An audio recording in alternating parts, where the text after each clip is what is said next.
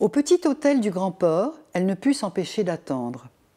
Tel le chat sachant qu'un jour le maître reviendra et qu'il vaut mieux demeurer là où on l'a vu la dernière fois, elle ne bougeait pas. Rien que la mère met en scène euh, des personnages qui sont, dont le lecteur va découvrir au fur et à mesure leurs liens. Au début, on voit simplement qu'il y a une femme qui n'est plus jeune, qui attend un homme qui est son mari, dans un restaurant. Et on voit parallèlement un homme jeune qui attend sur un bateau, sur un navire de guerre, euh, qui attend qu'il se passe quelque chose. Tous les deux sont en attente, euh, sans le savoir, d'un désastre. Ils attendent, je les montre attendant. La femme attend son compagnon, son mari, et le jeune homme attend d'agir un peu et on découvre que le jeune homme fait partie de la marine française qui était stationnée à Mersel-Kébir dans la baie donc, euh, de et qui attendait le mot d'ordre du gouvernement français car l'armistice venait d'être signé. Et quant à la jeune femme, le mot d'ordre du gouvernement français pour savoir ce qu'on allait faire de cette flotte française qui était la meilleure du monde. Donc nous sommes pendant la Deuxième Guerre mondiale, au mois de juillet. Il fait très chaud dans la baie de Mersel-Kébir. Et cette, jeune, cette femme qui n'est plus jeune attend son compagnon. Il, il a quitté la table soudain en plein dîner. Elle pianote sur son portable. Il ne revient pas. Tous les deux vont vivre un drame. Elle, un drame personnel, une défaite effrayante, intime, et une trahison intime.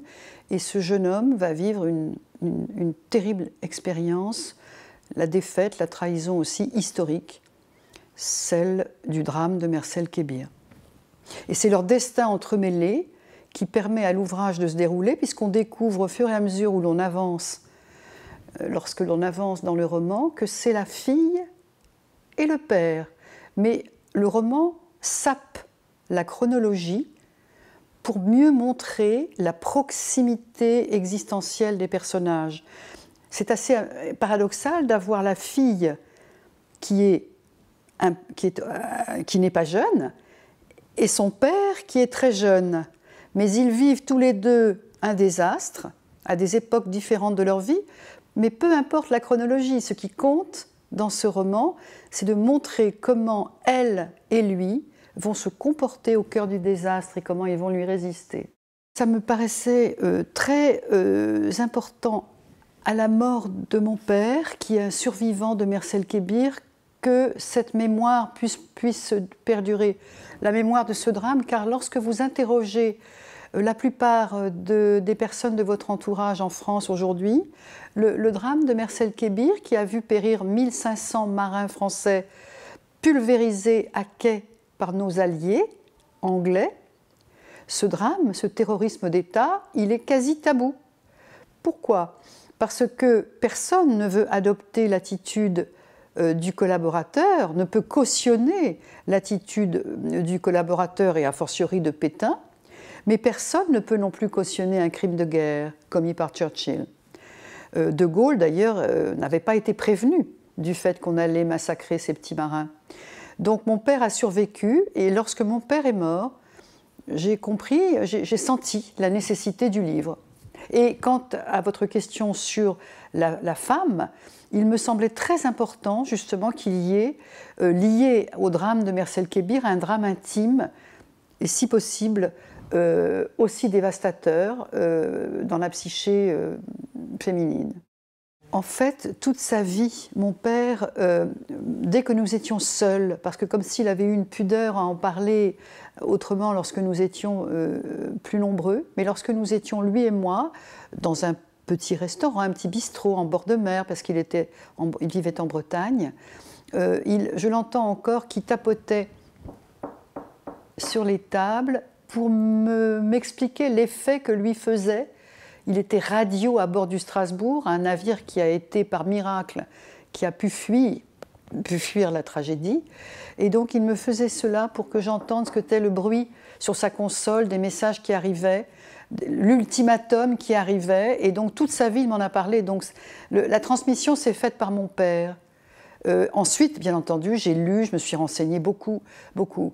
Euh, ça m'a permis d'ailleurs de supporter la mort de mon père. Je ne voulais pas un roman psychologique, je ne voulais pas un roman entre guillemets féminin, euh, c'est-à-dire les états d'âme, etc. Non.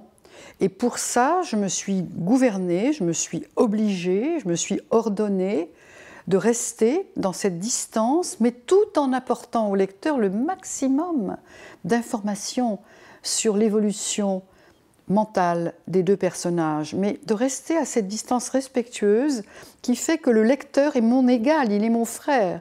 Je ne suis pas dans la psyché des, deux acteurs du drame, de ces deux drames, qui se retrouvent dans cette chambre mortuaire et qui vont et qui ont chacun à leur manière su résister à la catastrophe. Parce que euh, rien que la mère, c'est un hommage à la vie. Parce que malgré ces deux drames que le père et la fille ont vécu à des années de distance, ils ont une égale passion pour la mère, qui est une métaphore de la vie. Il y a une question du vivant dans ce livre aussi. Qu'est-ce qu'on fait, nous, vivants humains, avec les vivants du monde qui ne sont pas humains? Est-ce qu'ils ont le droit de survivre aussi, eux les, arbres et les animaux? Euh, il y, a cette question, euh, elle part à un moment donné, le personnage féminin, avant la mort de son père, elle part en Antarctique et elle découvre en cette région très lointaine comment serait quelle serait la possibilité d'avoir sur Terre, comme cela se passe en Antarctique, une égalité entre les, entre les genres humains et animaux, par exemple. Il y a une dimension dans ce roman quand même qui est un peu la crise, une crise de civilisation aussi.